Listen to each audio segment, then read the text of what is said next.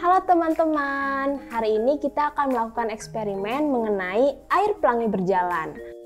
Nah, apa sih air pelangi berjalan? Air pelangi berjalan merupakan sebuah eksperimen sederhana mengenai pencampuran warna primer menjadi warna sekunder. Eksperimen ini cocok banget dilakukan oleh anak-anak karena mudah dan juga seru untuk dilakukan. Selain itu, eksperimen ini juga bisa dilakukan oleh orang dewasa loh, sehingga cocok untuk semua umur. Tanpa berlama-lama lagi, kita langsung ke cara pembuatannya. Sebelum memulai eksperimen, kita kenalin dulu nih alat dan bahan apa aja yang diperluin. Yang pertama, ada 6 gelas kosong. Teman-teman harus usahain warnanya transparan ya. Yang kedua ada sendok. Yang ketiga ada pewarna makanan berwarna primer yaitu merah, kuning, dan biru. Kemudian ada tisu. Dan yang terakhir ada air. Setelah alat dan bahan disiapkan, kita bisa langsung aja nih masuk ke eksperimennya. Pertama-tama, kita harus jajarin dulu gelas kosong ini Nah, setelah itu, isi 3 gelas kosong menggunakan 3 per 4 air.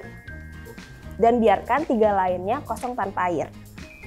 Oke, setelah itu kita masukkan pewarna makanan berwarna primer ini ke dalam 3 gelas air yang sudah terisi air. Kita masukkan warna merah terlebih dahulu ya. Teman-teman bisa masukkan secukupnya saja.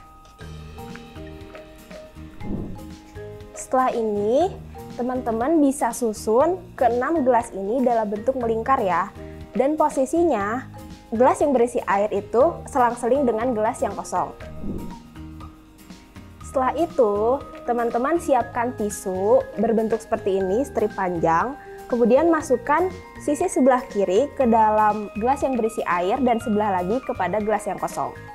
Seperti ini. Setelah seperti ini, teman-teman bisa tunggu hingga gelas yang kosong terisi air dan akan menghasilkan warna baru. Kita tunggu ya. Setelah menunggu beberapa saat, eksperimen mengenai air pelangi berjalan telah selesai nih teman-teman. Kira-kira kenapa sih bisa terjadi perpindahan dan perubahan warna? Hal tersebut karena tisu merupakan benda yang mampu menyerap air, sehingga warna primer berpindah kepada gelas yang kosong dan bercampur dengan warna lainnya, sehingga menghasilkan warna sekunder.